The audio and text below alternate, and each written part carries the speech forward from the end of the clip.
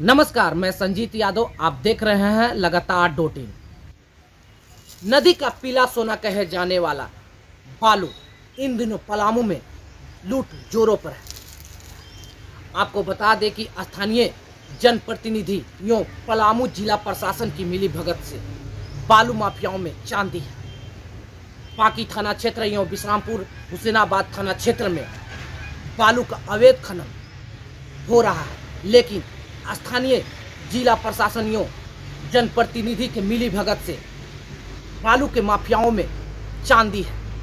ऐसे में कहा जा सकता है ना कि इतने बड़ा खेल हो रहा है बालू में, लेकिन पलामू प्रशासन आँख में पट्टी बांधकर बालू माफियाओं को संरक्षण देने में जुट गई जब लगातार डोटिंग की टीम ने इसकी तह तक जाना तो मामला चौंकने वाला सामने आया मामला यह है कि जिला प्रशासन को हर एक थाने के माध्यम से पाँच हज़ार रुपये पर ट्रैक्टर मंथ जाता है।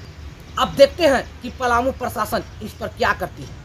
न्यूज़ अपडेट के लिए आप हमारे चैनल को सब्सक्राइब करें।